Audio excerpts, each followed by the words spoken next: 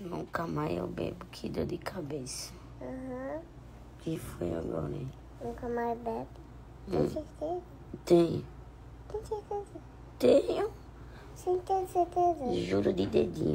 Nem vou jurar de dedinho. Mãe, olha a minha make. Aí eu vou olhar a make dessa menina. Linda, né? Tá linda a make dela. Vem cá ver. Agora vem cá. Olha a situação da roupa da garota. Toda melada de maquiagem. Um cascudo em tudo. Bocuda tá namorando, gente. Ninguém ainda.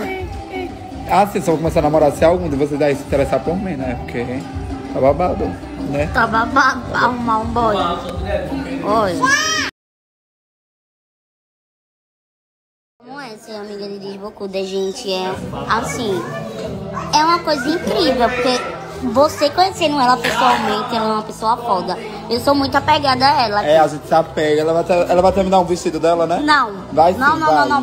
Joyce, quando. Olha pra aí essa pergunta, amigo. Quando vai casar, hein, Joyce? Oh, amigo, ah, logo, logo.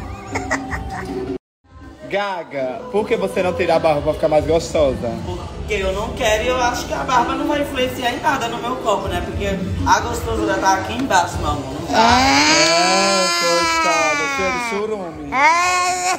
Inclusive, gente, a Gaga quer bater ele, então vou deixar aqui. Está...